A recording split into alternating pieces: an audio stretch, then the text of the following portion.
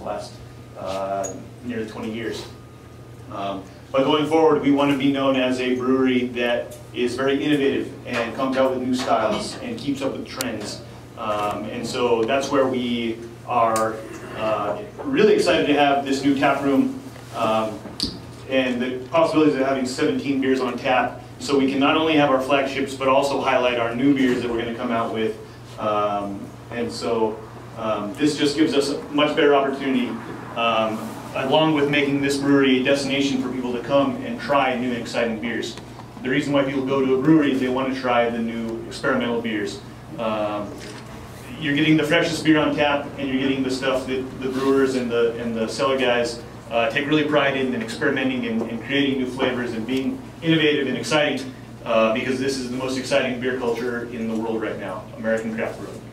Uh, to highlight some of those, uh, like I said, the Session Dark Lager. Uh, it is an easy drinking beer. Uh, I love that term, easy drinking, because I like easy drinking beers.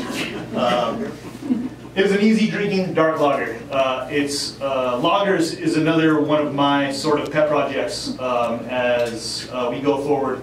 Um, I think in when you hear about craft brewing, you immediately think IPAs and you think ales, and those are typically the most exciting beers. Those are uh, there's a wide variety in those beers, and people already know those. Uh, I think that exciting aspect can be translated to lagers extremely easily. I think there's a lot more lagers out there than people realize.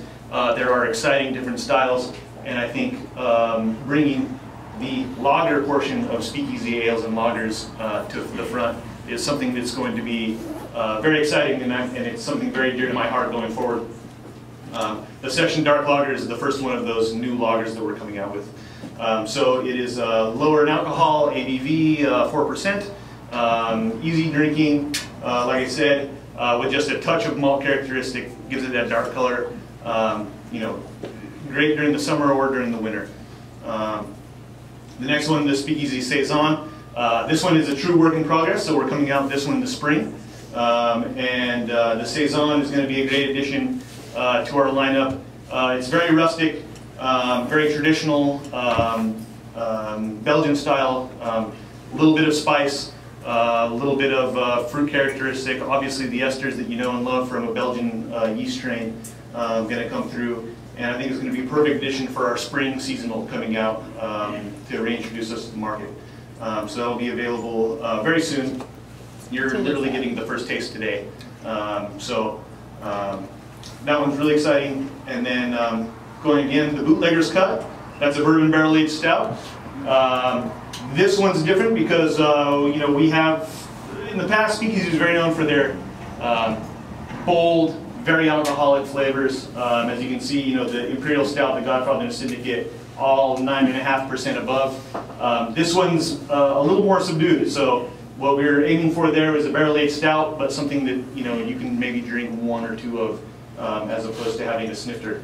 Um, so it's a uh, barrel aged stout, but it's a little more approachable uh, really good. This one's also just available in the tap room. Never going to get it anywhere else. Um, so enjoy that while you can. Um, and then the holdout stout. And that is my true baby. The holdout stout is, um, uh, I'll have to tell you the story before we get into the actual uh, brew itself. Um, we started this brew when Speakeasy uh, was not going through its best times, we'll just say that. Uh, our future was uncertain, and we wanted to um, we wanted to do something in true Speakeasy style. Um, and so what we did was uh, during the early days of the receivership, um, there was only eight of us. We were the holdouts. Um, we wanted to make sure that Speakeasy uh, survived and was something that would carry on. Um, so during those early days, the eight of us uh, decided that we, if we are going to come on this the other side, we needed to prove that we could make beer. We needed to make a beer that was ready to go when the doors opened. And we needed one that would last the ups and downs and the uncertain timeline that we were facing uh, at the time. And so what we did was we took an inventory of our, of our raw materials. Uh, we whipped up a recipe uh, using the stuff we had on hand and um, what we ended up with was uh, the holdout stout. Um, It's an oatmeal stout, uh, a little higher alcohol, 7%, nothing too overbearing, but enough to hold up to uh, some time if need be. Um, Smooth, roasty. Uh, I'm also a very big malt and stout dark beer fan, um, so this one uh, I was very excited to, to be able to brew one. Um, but what it stands for, I think, is uh, the true testament of this beer. This is the beer that is going to be uh, symbolizes Speakeasy's grittiness, resilience, much like our neighborhood.